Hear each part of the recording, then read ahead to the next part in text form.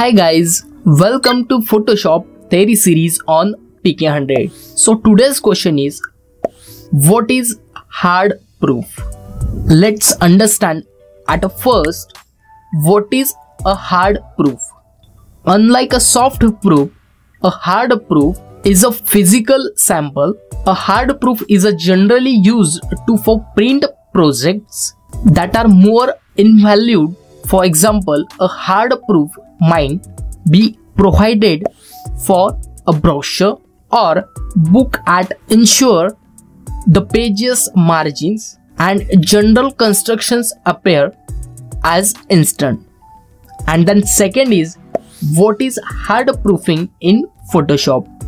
You can soft proof an image using a feature in photoshop or you can hard proof actually make a point make a print and one printer which simulate the output from a different printer.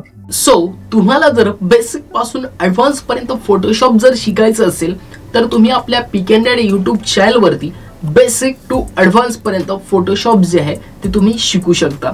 Simple तुम्हाला काय करायचं आहे आपल्या YouTube चॅनलवरती एक playlist मी बनवलेली आहे Photoshop master course म्हणून. त्या प्लेलिस्ट तुम्हाला बघायच्या त्या प्लेलिस्ट मधील पूर्ण व्हिडिओज तुम्हाला बघायचे आणि learn it thank you guys thanks for watching thank you